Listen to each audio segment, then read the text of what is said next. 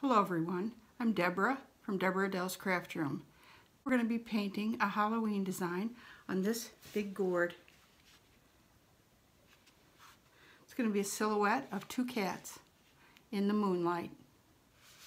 I hope you enjoy okay, the video. The first thing I did to this gourd before I painted it white was I drew a big moon on the best side of the gourd. Then I painted that moon light buttermilk with two coats of light buttermilk. After that, I painted the gourd, the entire gourd, including the moon, with two more coats. This area where the moon was kept getting more and more coats on it so you could still see it even though this was being painted the same color. And then just now, I drew the moon back With on. spiced pumpkin, we're going to do long strokes from the stem down to the blossom end.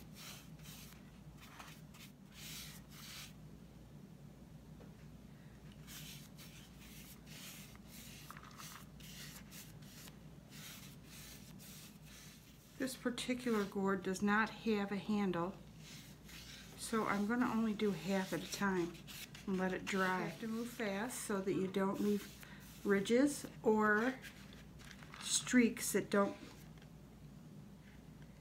that don't look real.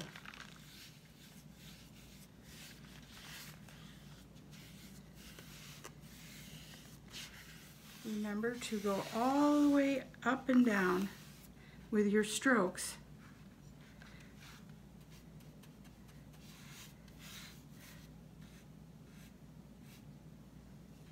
so it doesn't leave any brush marks. I have this one coated, but I was thinking, you know, it's pretty hard sometimes to hold the gourd right when it doesn't have a stem or, or a handle, I mean. So if you don't like the way your streaks look, all you have to do is paint it two times and the whole streak effect will be gone, but your your uh, gourd will be solid orange. And that is acceptable as well. So I put a lot of, trying to get these streaks to go right, I put a lot of uh, orange paint on the moon. So I'm going to go over it with white again.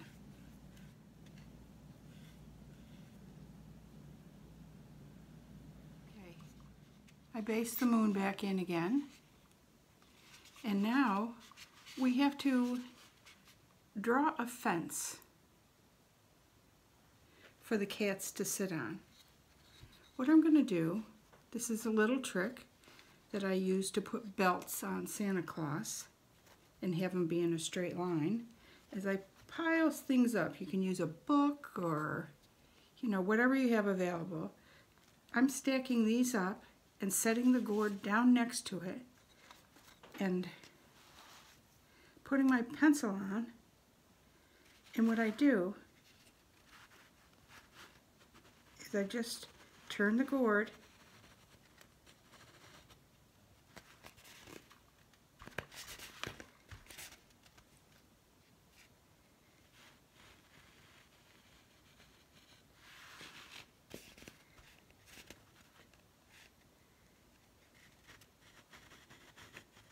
and strike a line like this. This one isn't as straight as I'd like it, but at least it's got an idea of where the gourd, you see that line? Yeah. It's a little crooked because I was rocking the gourd, but um, I'm going to straighten it out now. And and make the rail fence. I'm going to draw the rail fence in. And if it's not straight, fix it. It's better to, I have a towel underneath me and it's better to do this on a table or a countertop or something so that the gourd turns easier. So anyway, and just strike the other line. It, if you if you think the this, this line, the top line that you made is too high, then you strike the line, the second line of the rail fence low. If you think it's too low, then you can strike the, the uh, second line over the top of it and that will adjust the height of it a little bit. Okay, so I have two lines there. That is the, uh, the fence, the fence rail.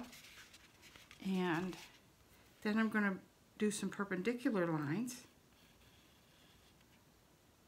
So these are the fence posts.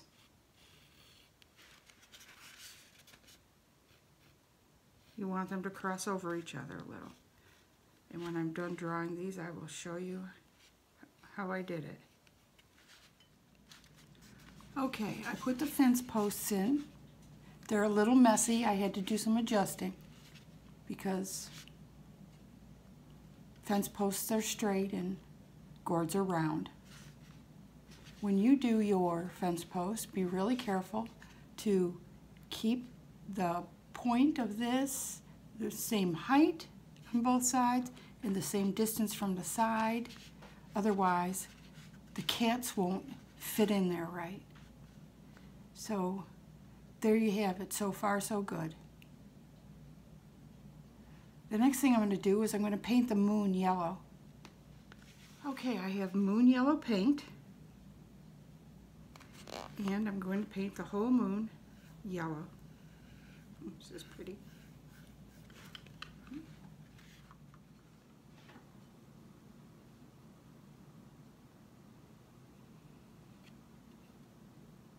Okay, the moon is painted. I think it might need a second coat, so I'm going to wait for it to dry and then do that. Next, I'm going to paint the fence. I'm going to use a number three round for this because of the points. I want to make sure that they look good.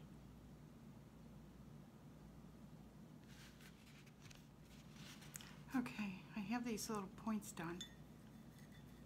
Now I'm going to get the number four flat. And do the do the rail.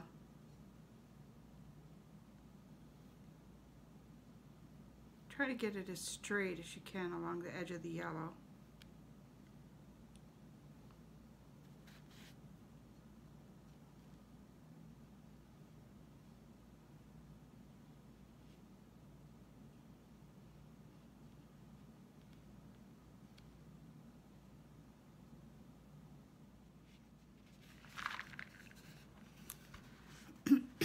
Okay. The rail fence is in. Now we have to design these cats.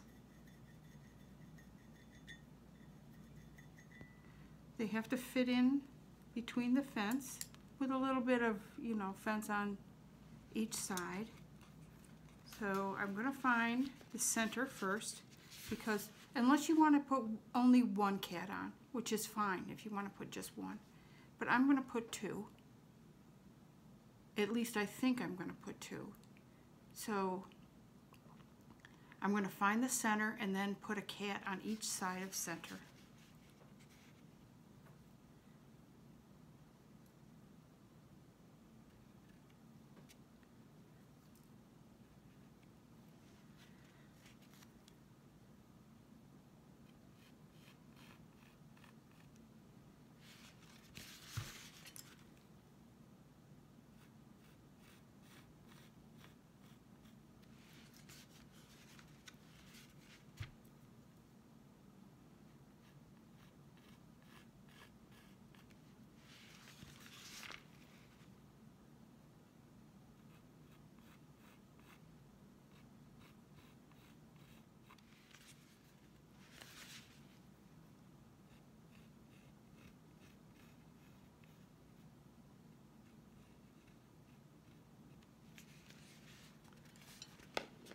So far I have the bodies on.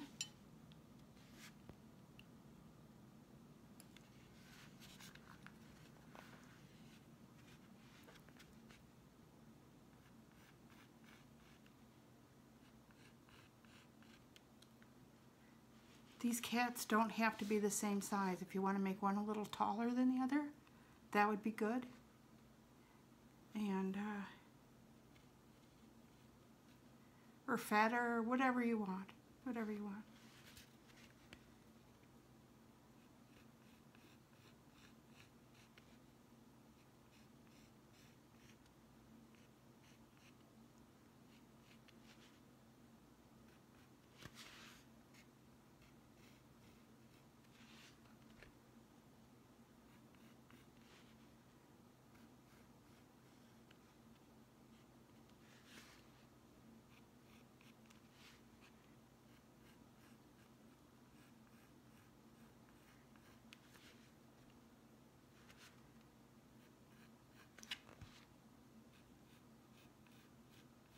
Can make a template for these and make it available for you if you don't think you can draw these.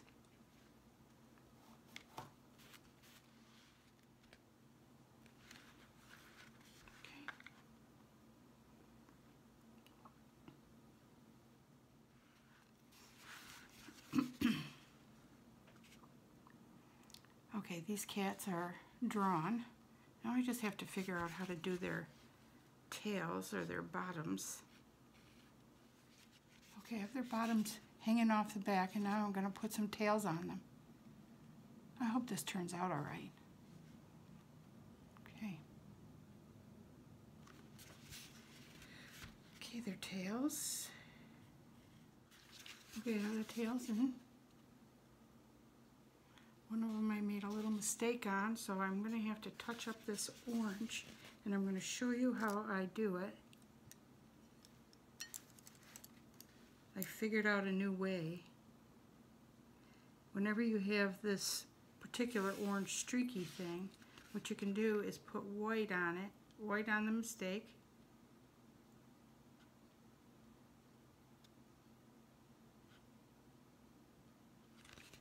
And when it dries, then put orange over it.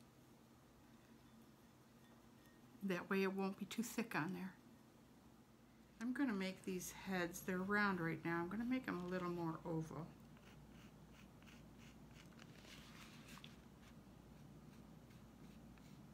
Okay, so we have the cats in the moonlight now. We're going to paint them black.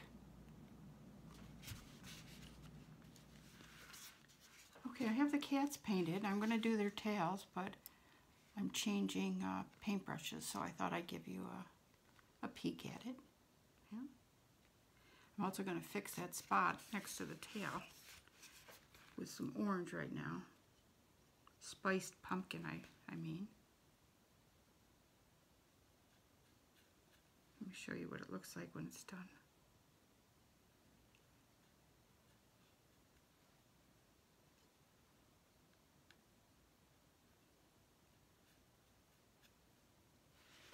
Okay, it's gone. Still looks streaky. So that worked out pretty good.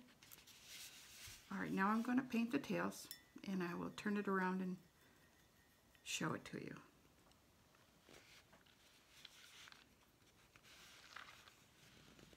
Okay, here are the cats with their tails, looking at the moon, sitting on a rail fence. There's some shading involved now. I'm going to shade around the moon, around the cats, on the outside of the moon. I'm going to shade the inside of the moon with some light buttermilk. Dip your brush in the water, blot off the excess water, and put the corner into the white paint. And then start shading around the outside. It's going to brighten the moon up quite a bit.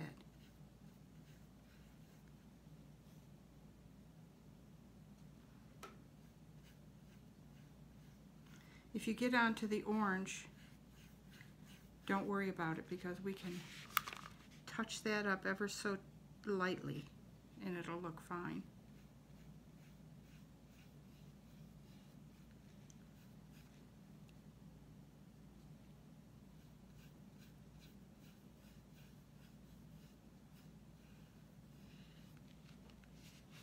See how that looks?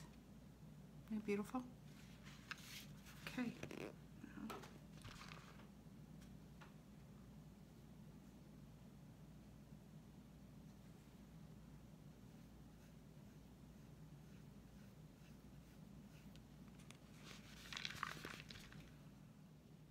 I'm going to show you what this looks like before I touch it up so that you don't think you're doing something wrong. I, when I end my shading, I end it right inside of the cat. See? In the fence, whatever, because the black is going to cover all that up. We're going to do a big touch-up as soon as all the shading is done. I still have more shading to do on the moon with a darker color now. Now I'm going to shade here and there with the uh, antique gold. I'm going to shade in the moon like this. Every once in a while, I'll just put a streaky mark in.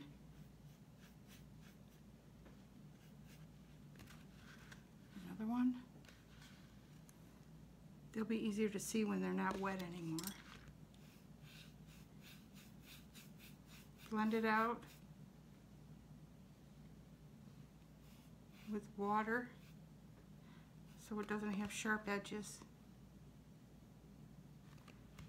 See what else we have here. There's another one. They're not they're not in a line around. They're just here and there in the round.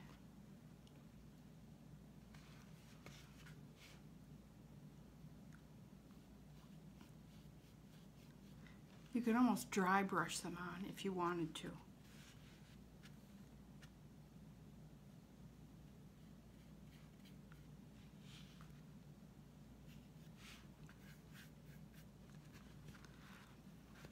Okay, now with red iron oxide, I'm going to shade a little bit over the white, very close to the edge.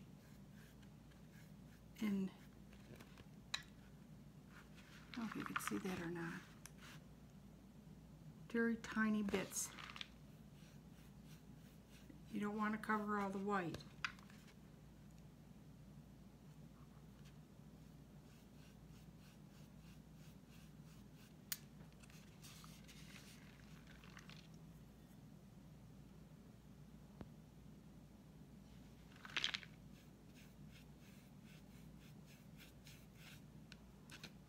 Just want to put it on the inside of the outside line. You don't want to bring it in to the moon.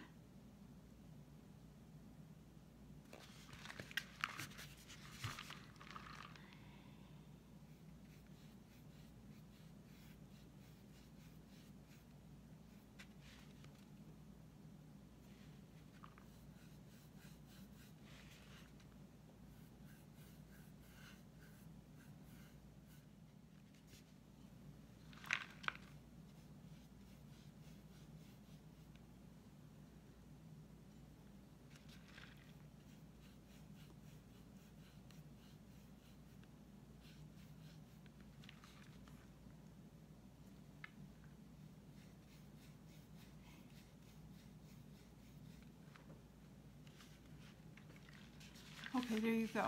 You can hardly see it, but in person you can see it.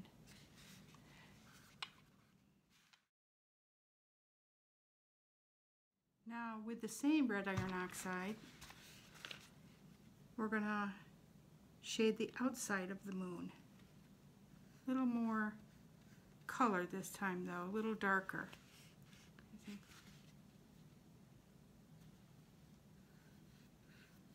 Try not to get inside the moon with this shading. So, some things are harder to touch up than others.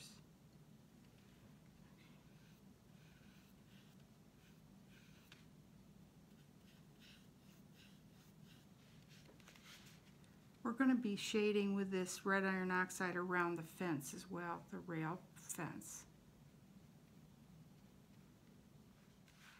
Okay. Okay, it's all shaded. Now we are going to be touching up until the cows come home.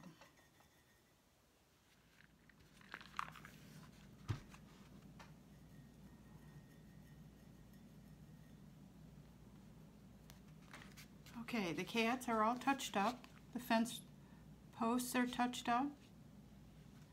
And now we're going to put some collars on these cats. Okay, the taller cat, that's going to be the boy cat, is going to have an olive green collar. Just go straight across with the collar. Just gives it a nice little pop of color. Go a little bit past the neck so that it looks like it's enough for him.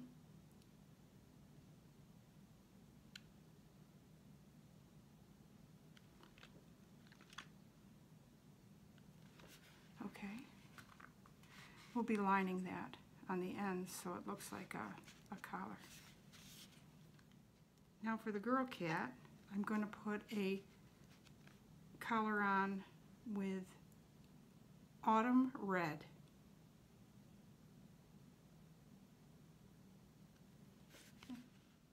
You can put any color collars you want on yours.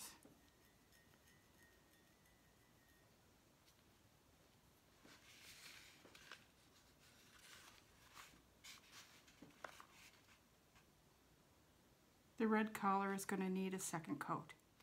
While we're waiting for the collars to dry, we're going to put some little kitty footprints on this pumpkin.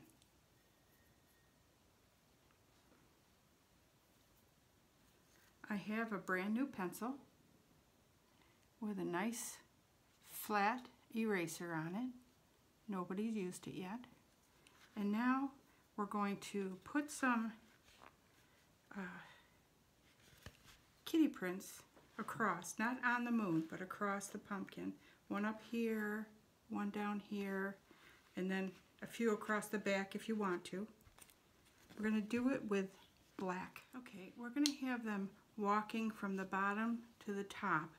So the kitty prints are going to be bigger, way bigger than the cat. Put your pencil in the paint, the eraser, make one dot, and then again dip in, and right next to it, so it's touching, put another dot,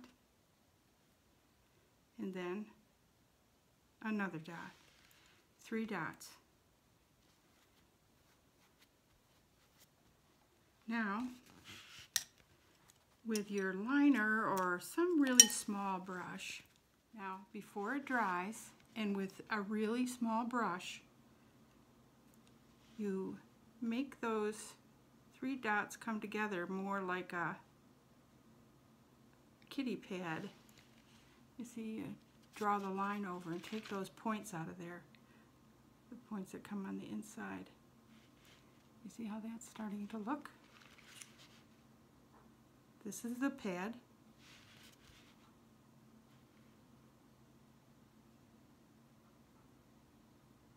Okay, that's the pad. Now we're going to put the little toes in.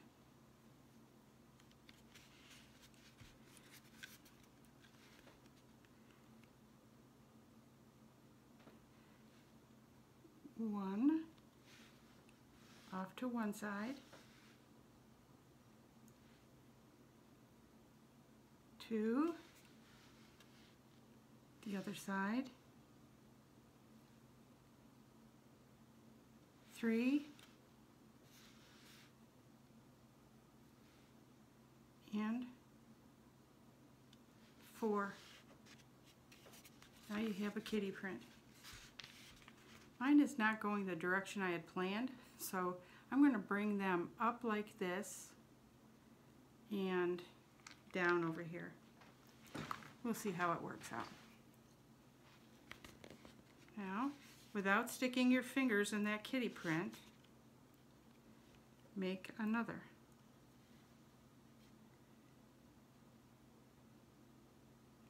put put a distance between them. You don't want to have them just covering the whole thing.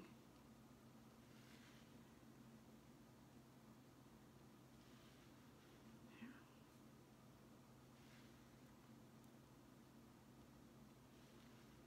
we go. One.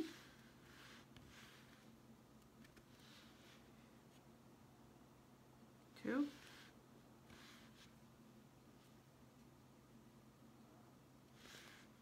Three. When you put that third toe on, it really starts to look like a kitty print. Four. There you go.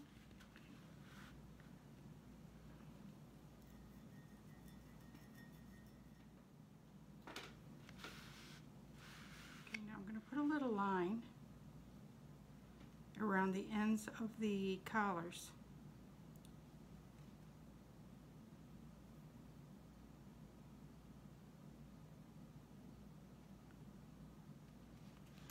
That looks?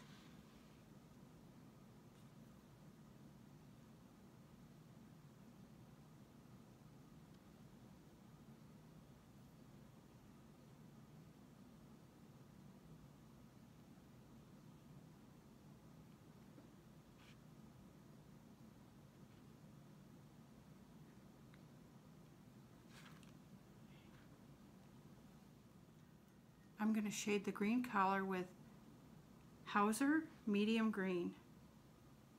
Just a little shading, nothing much. Mostly a line, just to give it some definition. And the red collar, I'm going to shade with black. Tiny, tiny bit of black.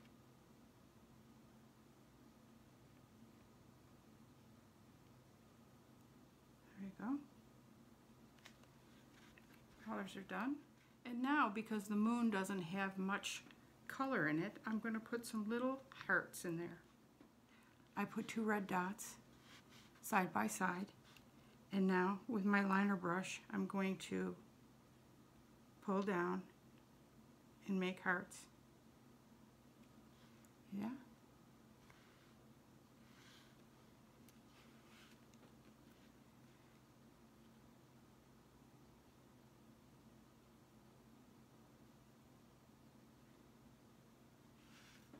Okay, there you go. Our little cat silhouette under the big full moon is finished.